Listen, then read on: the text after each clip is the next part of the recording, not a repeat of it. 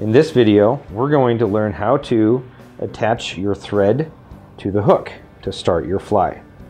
So we use what's called a jam knot. It's very simple. We start with the thread behind the hook and we kind of wedge it around the hook a little bit and then we start wrapping the thread from the bobbin over the base of the tag end. And that will jam the thread onto the hook.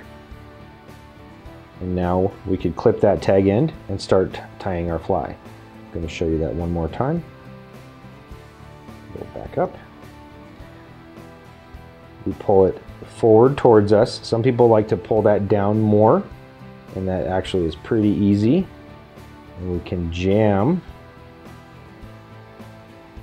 the thread on top of itself. When we're done there, we just trim this tag end and we are ready to start tying our fly.